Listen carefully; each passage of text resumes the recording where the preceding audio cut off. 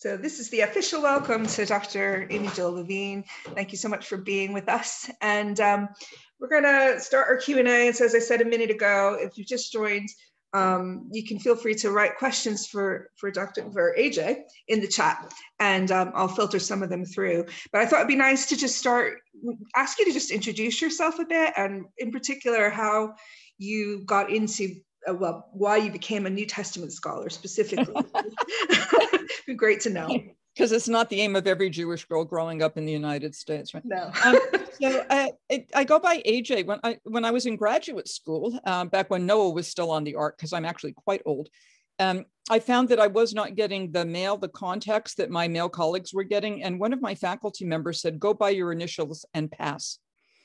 Um, so it, as opposed to turning out articles for publication under Amy Jill, um, I, I turned them out under AJ. And, and stuff that, that got rejected under Amy Jill got accepted immediately under AJ.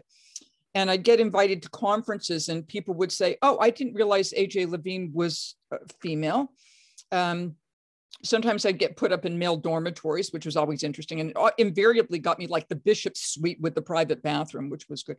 Um, so the reason I'm AJ is, is because of issues of gender and sexuality back in the late 1970s and early 1980s, uh, when women on the whole in certain sectors of the academy, and especially uh, in biblical studies and religion, I mean, women were not supposed to be there. and it was hard enough having a last name Levine, which codes Jewish. So um, it, I got into New Testament studies uh, because when I was growing up, I'm from Massachusetts, so New England. Um, I grew up in a neighborhood very rural, um, on, on, right on the Atlantic Ocean, uh, where pretty much everybody else was Portuguese Roman Catholic, so fishing village. Um, uh, and I was interested in what my Catholic friends were doing. The first person who registered to me as a Protestant, I met when I went to college, to university. Um, and, and what happened was one day a little girl said to me uh, on the school bus, You killed our Lord. Um, and I recall saying to her with no small degree of, of uh, indignation, I didn't kill anybody because if you killed somebody, you would know. Um, and she said, Yes, you did. Our priest said so. And I knew that Roman Catholic priests, I had no idea what an Anglican was. I didn't know what an Episcopalian was.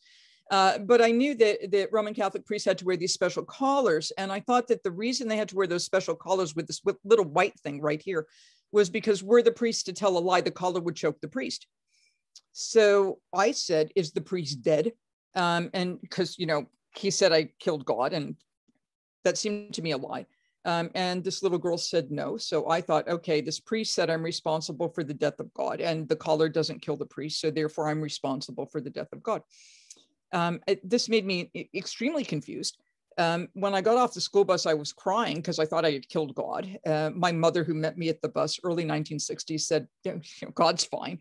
Um, and then I started asking questions. My parents had told me that Christianity was, which meant Roman Catholicism, was very much like Judaism, that we worship the same God, the one who created the heaven and earth, uh, that we prayed the same prayers, most notably the Psalms, uh, that we shared books like Genesis and Isaiah, um, and that a Jewish man named Jesus was very important to my Christian friends. So I couldn't figure out how this religion, which seems so much like Judaism, was saying horrible things about me. So I started going, I asked if I could go to um, religious education class with my friends. We all went to public school, um, which meant that religious, religious education class was after school. Um, and uh, my parents, I had, I had great, I had fabulous parents. My parents said to me something along the lines of, as long as you remember who you are, go, you might learn something. It's good to know about other people's traditions. And they said, so I went to religious education class with my friends and I fell in love with the stories. So that's how I got interested in New Testament studies. And when I finally read the New Testament, um, which was many years later, remember, I'm seven years old at this point, I realized two things. The first thing I realized that was that we choose how to read. And, and I don't have the, I didn't have the language for it then, but the term would be hermeneutics. It comes after the Greek god Hermes, who, who's the interpreter god who goes between heaven and earth. So we choose how to read. Like, you know, you have TV critics and book critics and movie critics. So we choose how to see a movie or read a book, and some of us like it and some of us don't. And the critics can tell us why. So I thought to myself, the people who were teaching me this religious education stuff, mostly nuns, but some lay people, they chose not to read their text in an anti Jewish manner. Because you can read the New Testament and come out as an anti Semite. You don't have to. but you could. So I thought, what's the mechanism by which people read graciously rather than malevolently? And if somebody can teach me what that is, I want to teach it to other people. And the other thing that I realized was that I was getting Jewish history that the synagogue did not hold. Because in the synagogue, we're very good up until the Hanukkah story, which is the books of the Maccabees, which are in some Christian canons, but they're not in Jewish canons because they're written in Greek, not Hebrew. Um, we're good up to the Maccabees, which is the second century BCE, BC. And then, like magic, we're over into the early third century Common Era, or AD if you prefer, um, which is the, the rabbinic documents. So, if I want to know about Jewish history in the first century, the New Testament is actually a very good resource. And I teach at Vanderbilt University, uh, where my primary job is to train people who want to be Christian ministers how to read the New Testament, which is a strange job for a Jew and I'm not a messianic Jew. I'm not. I'm not a Jesus believer. I'm not baptized. Um, I just think the New Testament is fascinating, and I think Jesus is fascinating, and I've just dedicated my life to studying this stuff because it's fascinating. Thank you. I mean, it's been so helpful to us. I think we've been looking at parables in our church for like the last, I don't know, six, feels like forever, six months. And discover, I pretty much check what you say about it before I teach anything about it. It's been really, really helpful for us to kind of ground ourselves in the in the context. I think that's something more and more as a lot of us go through kind of spiritual deconstruction processes yep. to to really understand the context in which things were happening, which sometimes in church lots of assumptions are made that we kind of just assume are true and um, so stripping things away, and you've really helped us to do that. So I'm just going to share a question from Olivia. She says, Was it normal for Passover to begin with a type of parade or victory parade, as you called the triumphal entry, or was this unusual? And does Passover traditionally have much of a festival atmosphere? Oh, Passover is remarkably festive. Um, at the time of Jesus, it was one of, well, still one of the three pilgrimage festivals, except once the temple was burnt down, pilgrimage became a bit of a problem. Um, so it was a joyous time. Um, people came from all over the, the Mediterranean world as well as North Africa and points to the east. Um, it was an opportunity to visit with friends. Um, it was an opportunity for people to eat meat because the, the normal food for most people, um, vegetables, fish, but you know actually meat. So you get a lamb from the temple and that's your dinner. Um, it's the Feast of Freedom. So it's a sense of, you know, celebrating your national identity. Um, you're looking forward to 50 days later, which is Shavuot weeks in Greek, Pentecost. Um, but in terms of a triumphal entry, no, because it wasn't like they were expecting every year some person who was claimed a king to come in. Um, the only kind of triumphal entry you really had was that Pontius Pilate and his retinue, who are normally out by the ocean by Caesarea Maritima, where it's you know cool and you got this good ocean breeze, right? Um, Pilate would bring his um, troops uh, into the city. There was always a, a, contingent of Roman army officers in the city, but he'd bring in, you know, like the show of force. So what the Roman um, governors did, and Rome was basically in charge of Judea, which is where Jerusalem is, from about from about the year six of the Common Era. Um, they would bring their troops in to say, okay, all you Jews celebrating your feast of freedom. And this was the big feast. Passover was that big deal. Um, guess who's in charge? So we're just here ostensibly to keep the peace, but we're also here um, to, to fly the flag of Rome to show you that we are in charge and you're not getting free from us.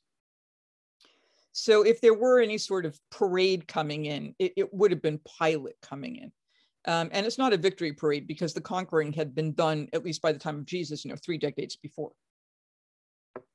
So um, there are two scholars, um, now deceased Marcus Borg um, and John Dominic Crossan, um, who have this image of when Pilate's coming in from one side, Jesus is coming in from the other, and it's you know which parade do you want to follow? Um, and it's it's by no means clear that that's that's the way it happened historically, but I think it's a nice image to hold in mind. Uh, since Jesus is being hailed as a king, you can see that in particular in the Gospel of John, chapter six, um, when the people wanted to make him a king. He's coming in as a king. Um, you've got in Matthew and John the citation from Zechariah, "Behold, your king is coming to you." Humble and mounted on a donkey. Um, and it, the readers of Mark and Luke would have known that prophecy. So, you know, did it happen the way the Gospels reported? It depends upon the Gospel you're looking at. There's another question here about food and Passover, and I, I, know there's some discussion with with the Passover meal. Was the Last Supper the Passover meal? Um, how did that fit in? Was it typical to have bread and wine Um, well, generally, except for Yom Kippur or other fast days, you're going to have wine with pretty much everything. And, and even poor people had wine. They just watered it down a lot. Um, uh, the Passover meal, it, the Last Supper in Matthew, Mark, and Luke is a Passover meal. The Last Supper in John is not. Um, John, because in John, Jesus is killed at the times that the at the time that the lambs that would have been eaten for the Passover meal are being sacrificed in the temple. Now, which one's historical? This is very hard to determine. For John, the symbolism is, is, is perfect because John, be, the, in the first chapter of John, John the Baptist says about Jesus, Behold the Lamb of God who takes away the sin of the world. So you got all this lamb imagery. Um, and then you have the Passover sacrifice, which is in fact a lamb. The Passover sacrifice is not a sin offering, by the way. So John kind of repurposed it. Um, but although the symbolism is perfect, that could also have been the way it worked because the chronology in John actually makes more sense historically. Um, uh, Jesus talks about, um, you know, I, it, you know, I would have wanted to eat this feast with you, and I'm not going to eat until we get into the kingdom. Of, that would be weird if the Last Supper were a Passover meal because he eats the Passover meal. Uh, the word bread, the New Testament is written in this Greek. Is, the word bread listen to this. artos. Um, and um, artos, it just means any sort of bread product. So it could refer to pita, it could refer to matzah, it could refer to pumpernickel. You know. Um, so is it normal to have bread and wine at a meal? yes. Um, the Passover meal that we celebrate today, it's called a Seder. The word Seder, Seder is actually modern Hebrew as well. Beseder, if you go to Israel and somebody says, like the guard says to you, Beseder, it means it's okay. Seder means order. So Beseder means it's all in order. Like your paperwork is okay. We'll let you into the country. Your you know, stamp your passport. Beseder, you're good to go. Um, the Passover meal, the Seder as we have it today, is a rabbinic uh, invention. It was not um, the way Jesus would have done the Passover meal. I mean, there are connections, but the Passover meal in Jesus' time, as best as we can reconstruct it, um, on the plate on the table would have been a lamb that was sacrificed in the temple. So you have to go get it from the temple.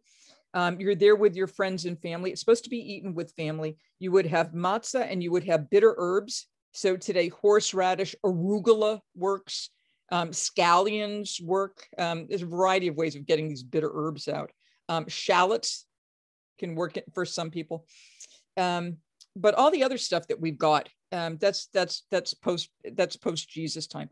And at the time of Jesus, you were supposed to eat the Passover meal within the environs of the city of Jerusalem, as opposed to you know like my dining room table last night. So changes changes in the Passover celebration, um, just as you see changes in celebration of the Last Supper or Eucharist or communion or Lord's Supper, whatever you want to call it, substantially changed over time. So all religions have meals and all those meals change. And that's the way religions work. And that, that's what keeps us alive. So in Judaism today, questions about what, what can you and can you not eat? And that actually varies among different groups of Jews. So what Eastern Europeans, like Fiddler on the Roofie Jews, um, or Ashkenazic Judaism, so German, Russian, Polish, um, Ukrainian, Romanian, um, they have their own traditions. And then if you go to Eastern um, forms, Sepharad, um, so Spanish Jews, Greek Jews, um, there's a whole separate Yemenite tradition. There are African Jews. And a lot of the food stuff is actually dependent upon what's available there at the time. And that wouldn't surprise you either. How Eastern Orthodox Christians do Eucharist is different than how Anglicans do it, than how Baptists do it. That's great. Thank you. Um, there's a few questions here that are about uh, atonement theories. I think one of the things a lot that we've, we've wrestled with as a community is how we relate to atonement. And lots of us comes from come from you know backgrounds where penal substitution is the is the only atonement that's taught. And so there's a few questions here. Naomi, I wonder if you might want to just speak your question out. I can do. I um I do. I wasn't really sure how to word it, but what I ended up with was um, I've often heard that old penal substitutionary atonement theories justified yeah. by Christians as almost an extension or a fulfillment of Jewish law um, and Jewish perspectives of justice. And I'm wondering to what degree Jewish people would say that that's true, or whether that's a selective reading of what Jewish teaching says about sacrifice and justice. Yeah, I think Jews would find that just a very weird way of understanding Judaism.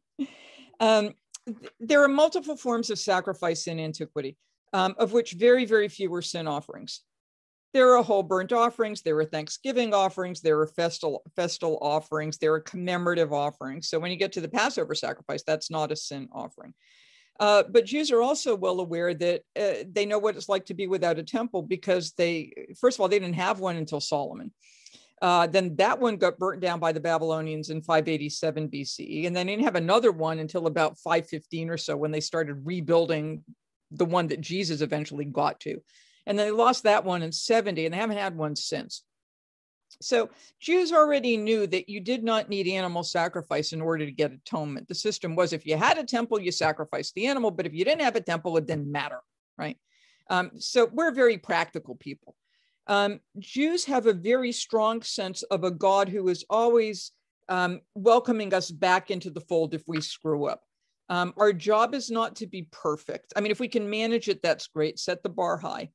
Um, but if you screw up, and people generally screw up because we're human beings, not gods, um, there are all sorts of mechanisms to get you back in a relationship with God. So the dominant Jewish term for all this is um, uh, SHUV, shuv, which means to turn.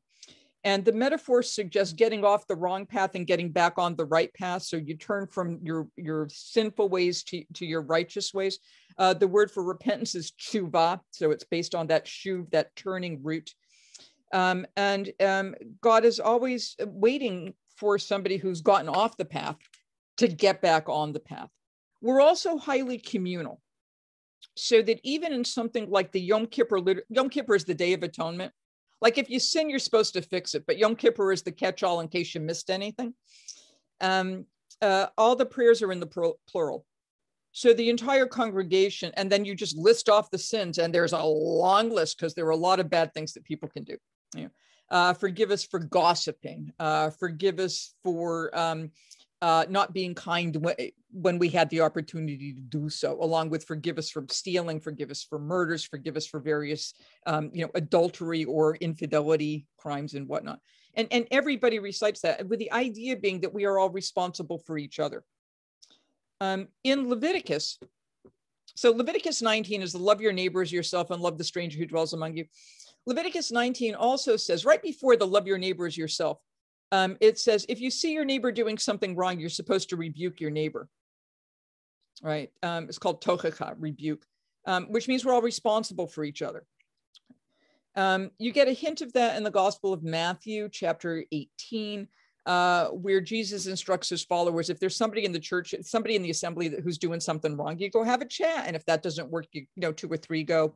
And if that doesn't work, you send a committee. And if that doesn't work, you send the entire church. And if that doesn't work, you make that person to be like a Gentile and a tax collector. In other words, you disfellowship the individual and then you go re evangelize. Okay. So they never quite let you go. Um, and the synagogue functions along the same lines. Uh, but we don't have a sense of penal substitution. Um, there was uh, uh one, remember, there's never been a head Jew to tell us what to do.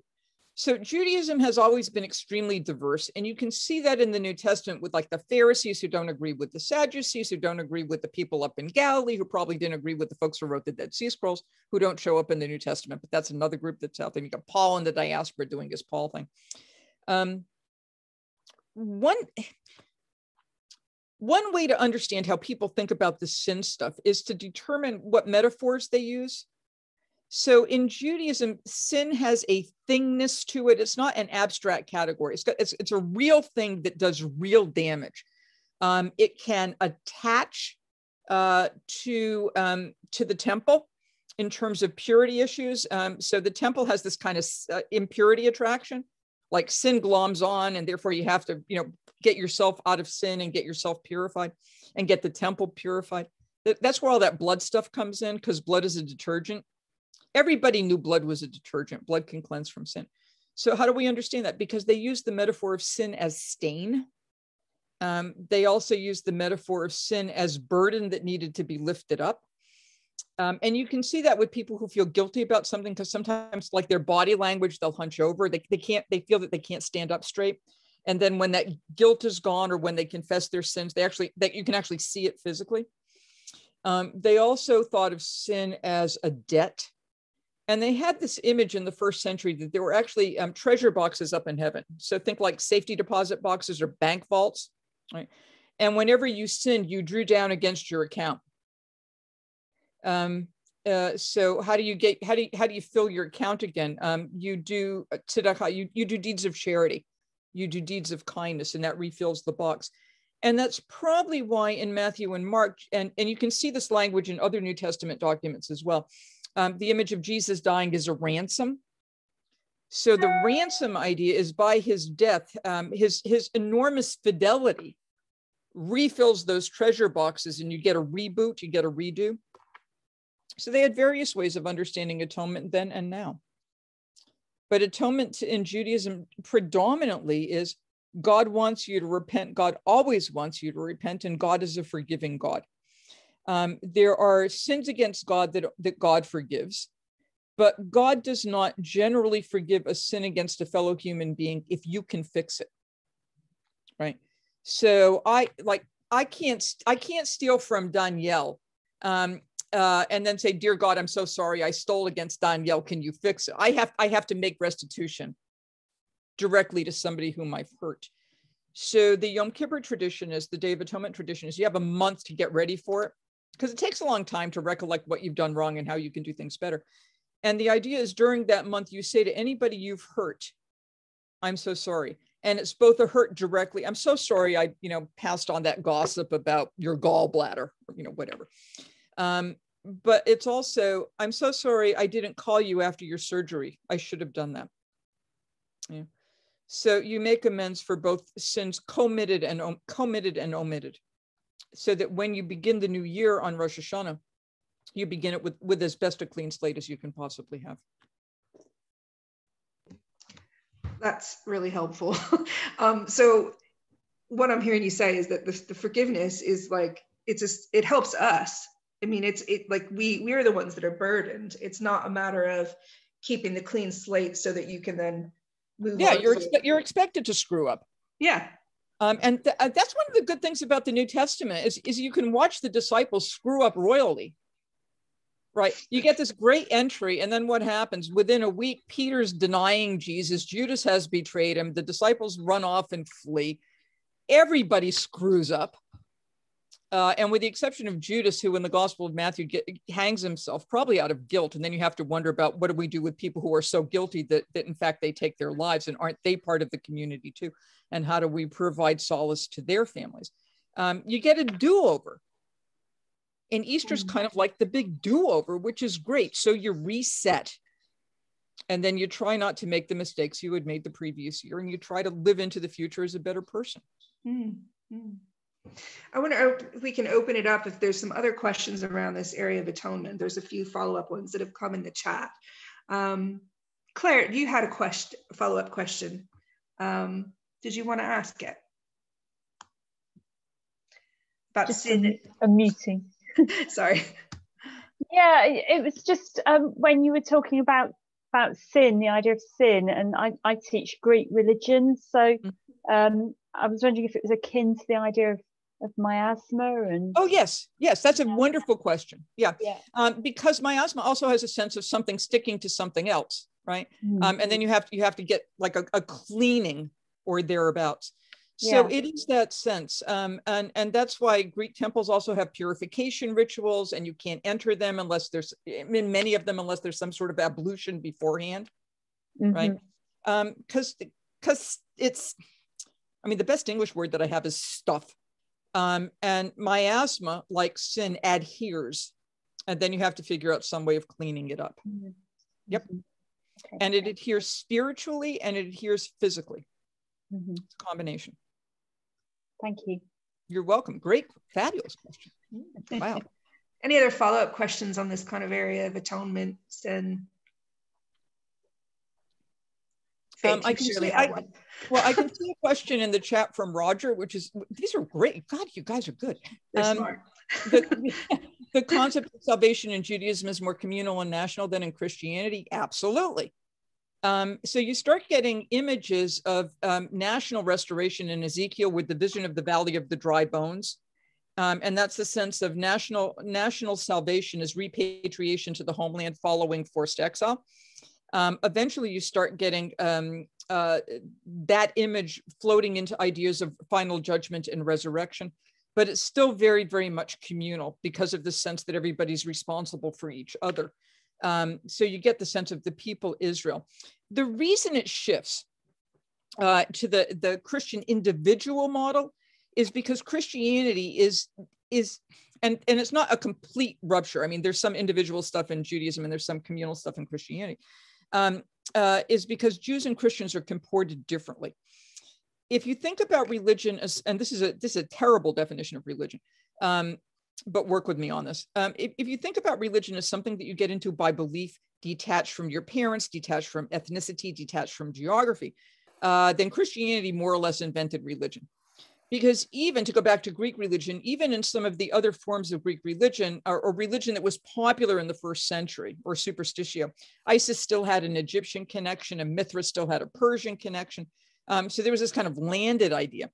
Um, and you could affiliate in.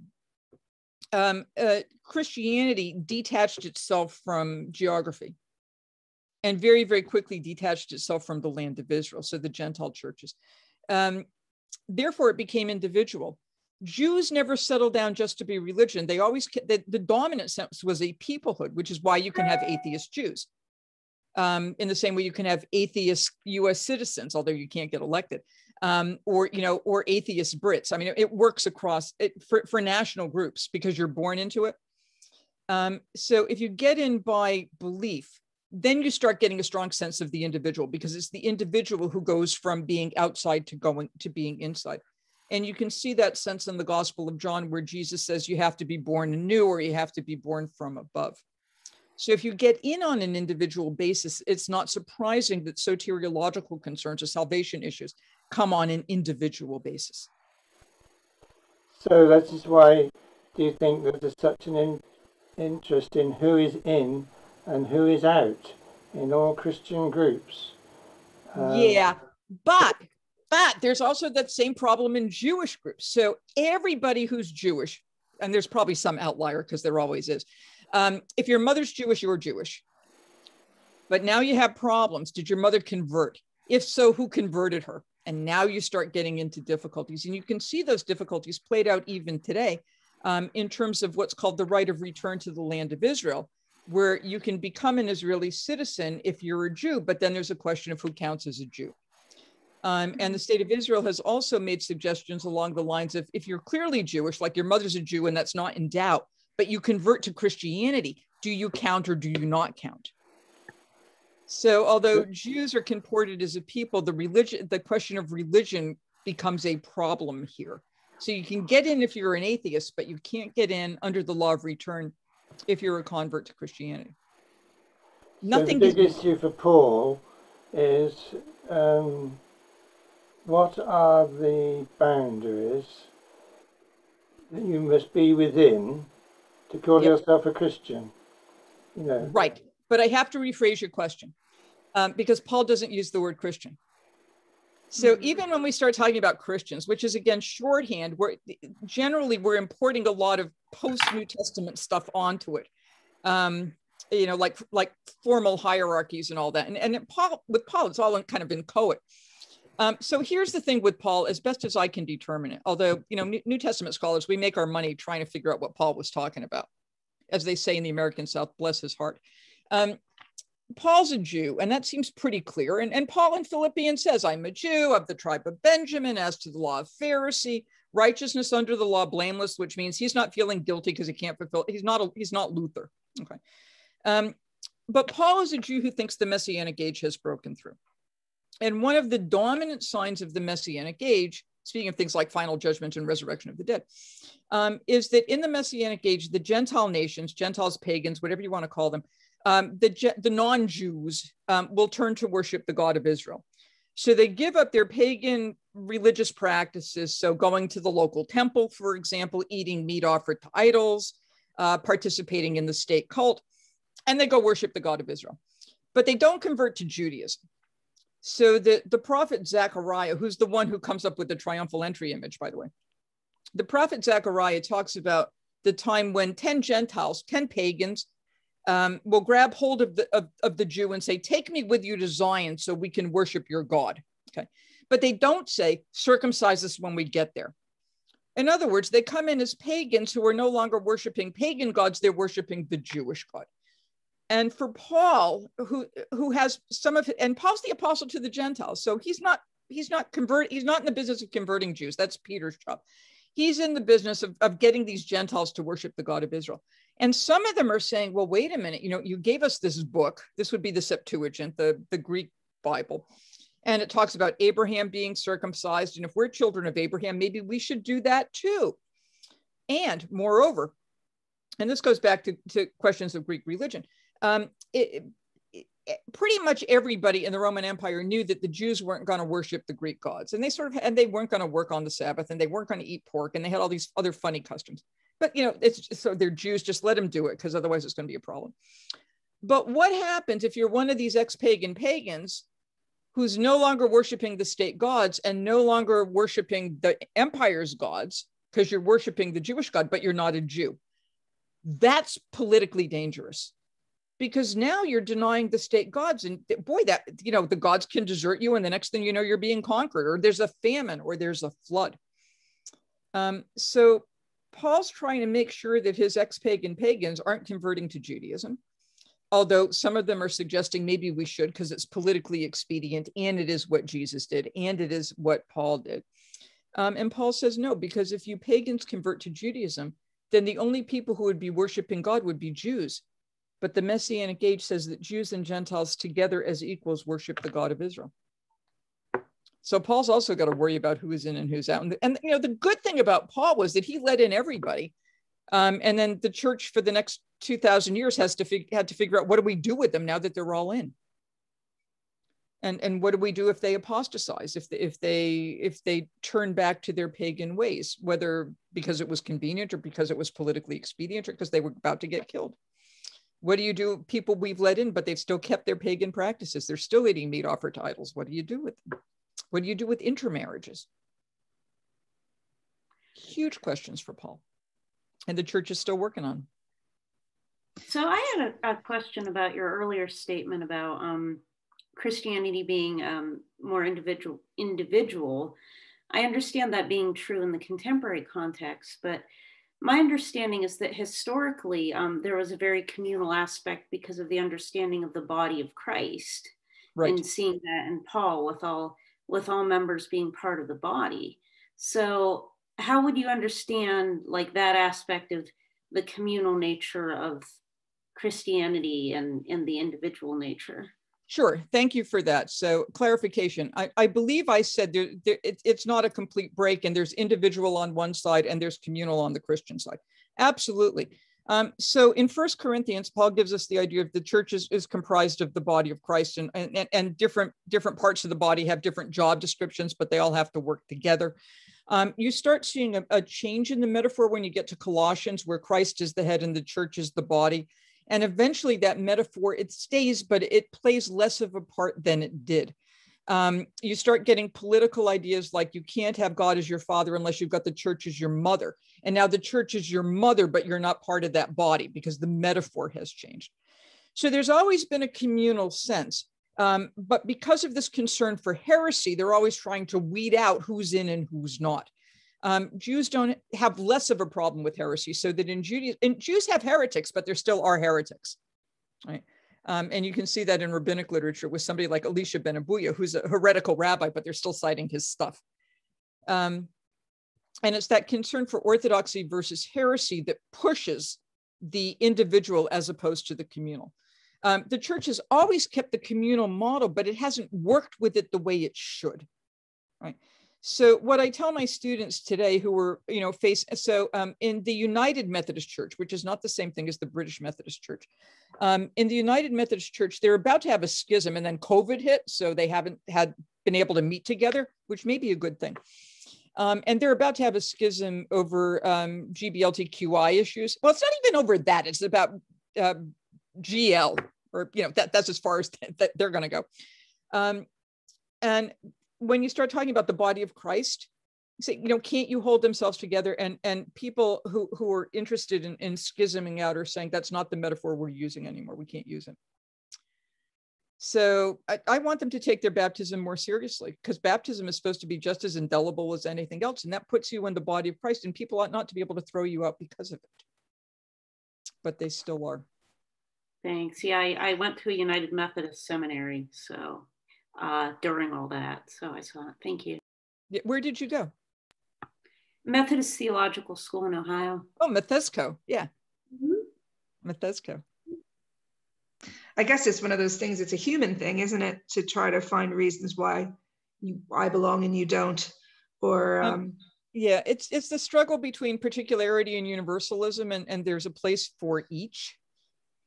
Right. Mm-hmm. Um, so sometimes boundaries and borders are extremely helpful, and sometimes they're extremely dangerous and then you, ha- you have to negotiate when you put those in there and, and we're always determining who's in and who's out mm. Mm. well you you mentioned um, uh, lgbt and uh, inclusion and exclusion and there's a couple questions in the chat that would be helpful to hear your perspective on around sure. um, what's the, the classical jewish view on lgbt inclusion and uh, someone mentioned they feel like um, Jewish communities have been more inclusive than the church historically. Yeah, it depends upon the Jewish community you're mm-hmm. talking about. Yeah. Right. Um, so Jews are divided in uh, various, I guess, denominations is the wrong word, but movements might be best or groups. Um, in, in all but Orthodoxy, everything is open and affirming across the board. Um, uh, orthodoxy has a problem, um, and there are degrees of Orthodoxy. So my own synagogue is what's called modern Orthodox. Um, and we play Don't Ask, Don't Tell. So we have a number of same-sex couples in our um, uh, in in our synagogue, and nobody says anything one way or the other. Um, eh, but the rabbi won't say something officially affirming. He'll come as close as he can, and then he'll he'll pull back. Uh, and when he does make comments along those lines, he uses them in terms of uh, politics rather than internal synagogue liturgical issues. Um, ultra orthodox ultra orthodoxy. And now we're talking about black hats and side curls and women with dresses down to the floor and, and either wigs or head coverings. Um, it's still a huge problem. Um, so people are trying to work from the inside, and there have been some really good. There's been some really good work done on um, uh, uh, GLBTQI Jews in Orthodoxy. So I'm seeing slow movements among some of the leaders, but the hardcore they're really pretty not good um, including the, the ultra orthodoxy in Israel, which which finds anything to be uh, th- that's not um, uh, heterosexual sex for the purpose of creating children to be a problem. Um, Reform Judaism, your liberal Judaism, uh, conservative Judaism, Masorti Judaism, all find no problem. Um, we come at the Jews and Christians, broadly speaking, come at the whole issue of sexuality through different sources. Um, so Christians are inclined to read the so-called clobber passages in Leviticus, in Deuteronomy, in um, uh, for, in Romans, in First uh, Corinthians, and in First Timothy. Um, Jews will read the material in Leviticus through the lens of the Talmud, and then moving on. So we're dependent upon different texts. For 12 years, well, I founded and then ran for 12 years something called the Carpenter Program in Religion, Gender, and Sexuality um, basically my dean at Vanderbilt a number of years ago said, here's, said, here's $2.5 million, develop a religion, gender, and sexuality program. And I went, okay, I can do that. Um, and the idea was to bring people who would normally uh, not speak with each other, who would, you know, strongly divided opinions, uh, to come and sit at the same table and try to work out how you come to some sort of, of healthy conclusion because literal, literally lives are at stake.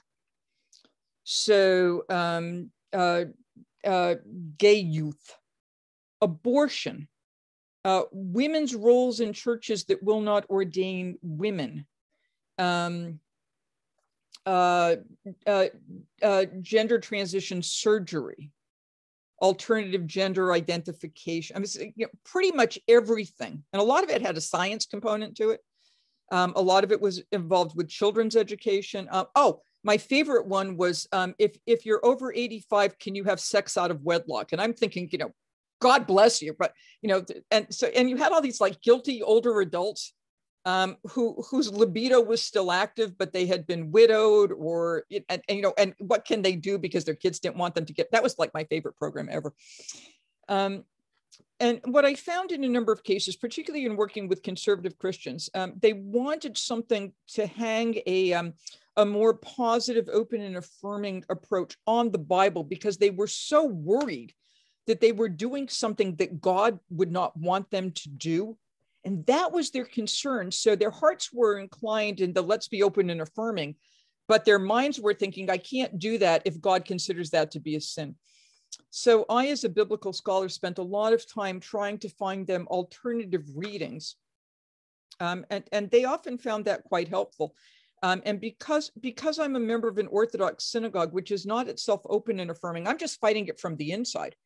Um, and I don't think that makes you, I don't think Roman Catholic people are traitors if they're still attending the Roman Catholic Church, which is not terribly open and affirming. Um, you know, you fight it from the inside. You can choose to leave, you can choose to stay.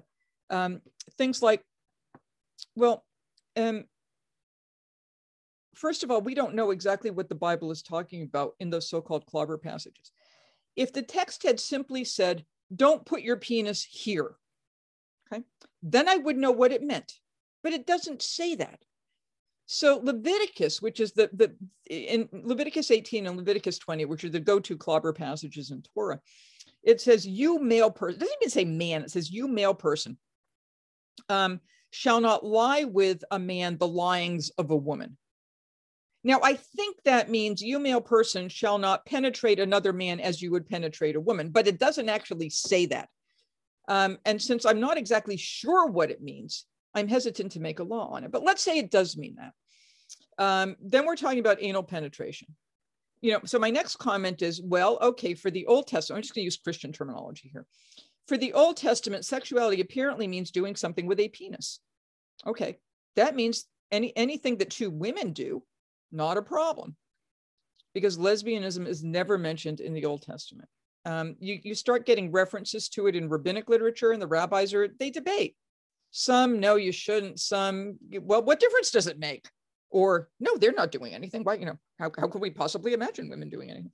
Um, because there's no penis. So if there's no penis, there's no sex, there's no problem. So, so the rabbis actually debate this, and eventually they determine that lesbianism is not good either. you can see the debates. Um, uh, the next question that I, I, I want my students to ask is, if you want to make a law that's, that says anal intercourse is forbidden, um, why? What's the purpose of this law? So I can see a law forbidding something like adultery because I would not be happy, you know, under the circumstances. I can see where that would break up a relationship. Um, so what is it? Is it to keep the birth rate up? No, because if it were to keep the birth rate up, the Old Testament would have forbidden masturbation, and it doesn't, right? And, and you know, unless your aim is really interesting, that's not going to up the birth rate. Um, or sleeping with a woman who's already pregnant because she's not going to get pregnant again or um, uh, heterosexual anal intercourse, which is not forbidden, or um, or oral sex, which is not forbidden. There's a lot of stuff the Old Testament could have mentioned, but doesn't. So it's not population. It's not behaving like Canaanites because Canaanites also have heterosexual sex. That's how you get little Canaanites. So that's not it. Um, it's not fear of anal tearing because again that would have been forbidden to women and that's not there. So you think of all these different reasons not there. Um, so the primary the reason i think it's there is because the old testament is interested in gender roles. Men do men things and women do women things. Um, so men can't dress as women women can't dress as men? Um, and this this is part of this idea of separation and and the whole text is about separation right? The creation narrative, you separate the darkness from the light and the waters above from the waters below. Um, you separate the days of the week from the Sabbath. You separate the people Israel from the Gentile nations. So separation. So you have men doing men things and women doing women things. Um, but then you realize that all of those gender roles are artificially constructed, right? Uh, men barbecue, women bake, right? Then you go watch the Great British Bake Off and you realize that's not actually the way it works. Um, so I think that's what's going on. Don't treat you, male person, don't treat another man as if he's a woman. That's screwing up gender roles. Okay. So if that's what it means, um, then what about to go back to creation? And this is actually a page from the Jesus playbook. when asked about divorce, um, Jesus says you can't get divorced, and he cites Genesis, right? That's a man leaves his father and mother and cleaves to his wife, and they become one flesh. And what God has joined together, let no person separate. So that's Jesus. Well, how about this? In Genesis, in the creation narrative in Genesis chapter one, everything is fabulous. It was day one, and God saw every God saw that it was good, and God saw that it was terrific, and God saw that it was wonderful. Um, the Hebrew word is tov, good, good, good, good. And the first time God says something is not good, lotov, um, God says, and I'm at the beginning of Genesis 2 here, it is not good for the human being. The Hebrew is ha adam, the human being. It is not good for the human being to be alone. I will make a helper as his partner. Okay. So if God says it's not good for the human being to be alone, why would I condemn a gay person to a life of singleness and celibacy? And then my students go, oh, well, maybe I can put Genesis over against Leviticus and read that way in the same way Jesus puts Genesis over against Deuteronomy, which gives you permission to divorce and move on. Or if I were to go to Romans, where Paul talks about something that is contrary to nature, but he doesn't tell us what he's talking. He's probably talking about same sex relations, but he doesn't tell us that. But let's say he is.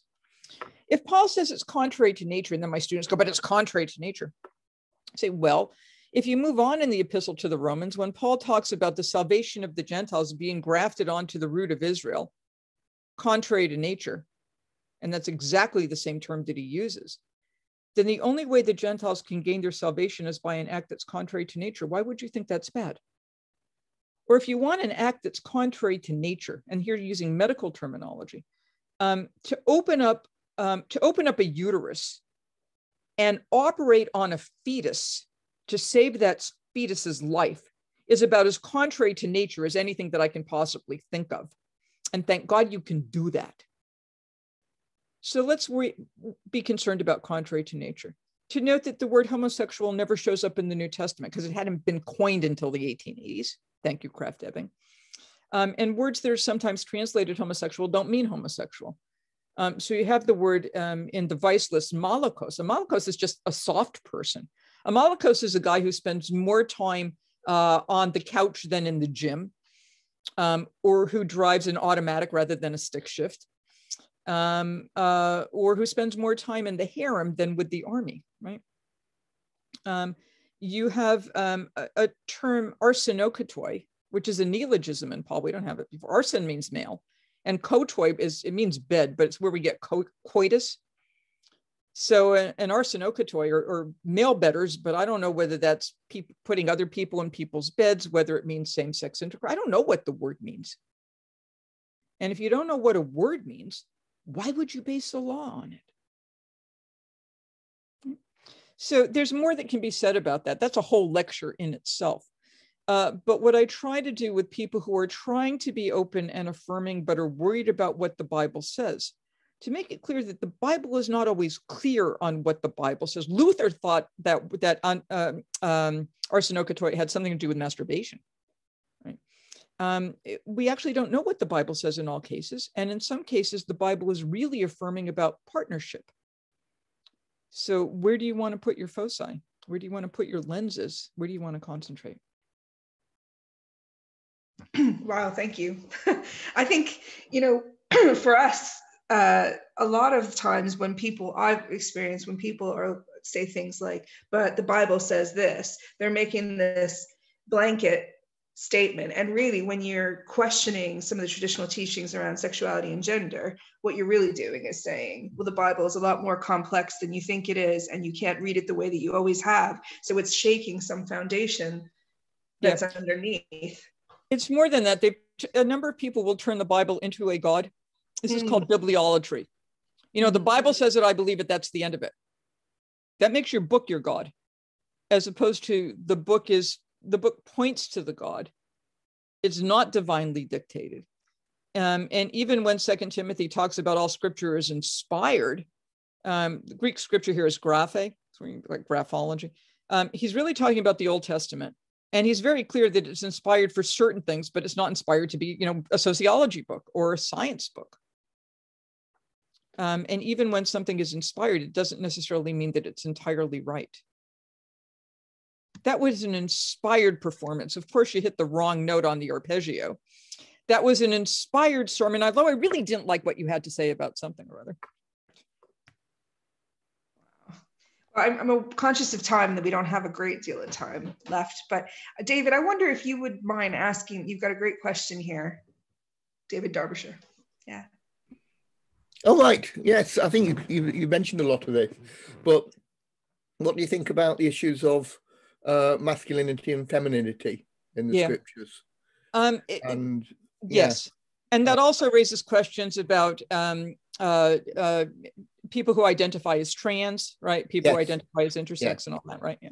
Um, yeah. So I'm, I'm, actually working with a number of students on projects related to those issues right now. Um, sometimes the metaphors are helpful. Paul talks about giving birth, right? Um, mm. And you can see that in Galatians. So, um, or um, uh, oh, so coming up to Good Friday, um, it, it, when Jesus is on the cross in the Gospel of John, he's penetrated by a spear um, and blood and water rush out, and that's a parturition image.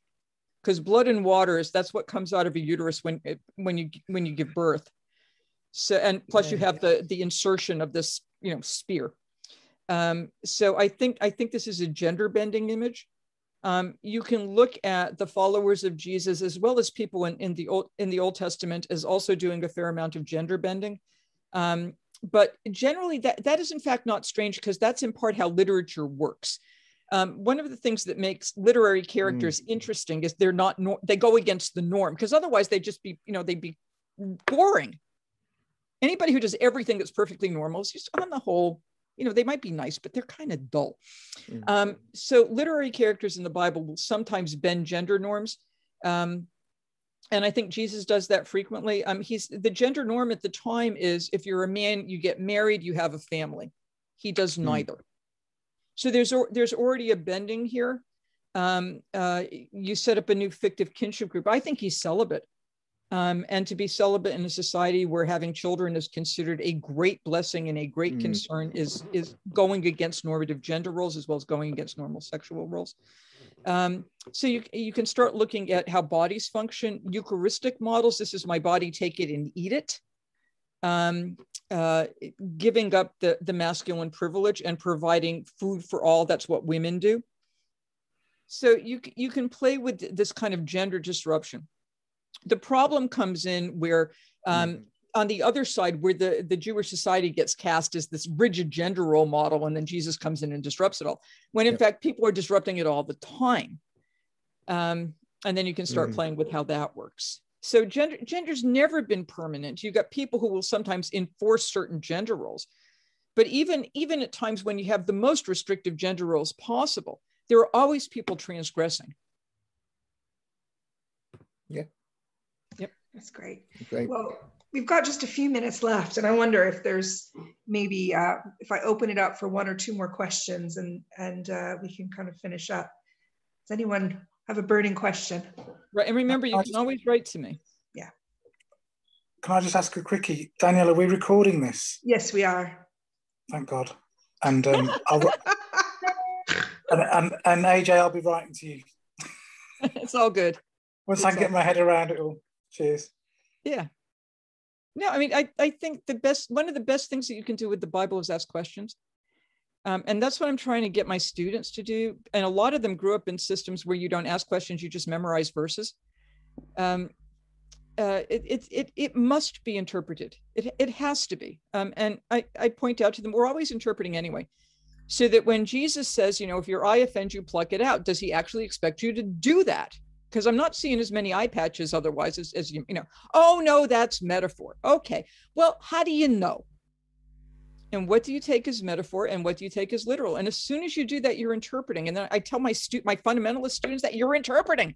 And they go oh. Well figure out some more stuff and then learn the history behind it so you can get a sense of what people at the time might have been hearing. You know what are the possibilities? Recognize that you've got four different versions of the same story so it may be impossible to get back to that original, but you can talk about the memory. Why did we remember the story this way? And if the memory doesn't work because you need to change it, and this is social memory theory, then you change the memory and you adapt. So the memory of Jesus has been changed through the centuries.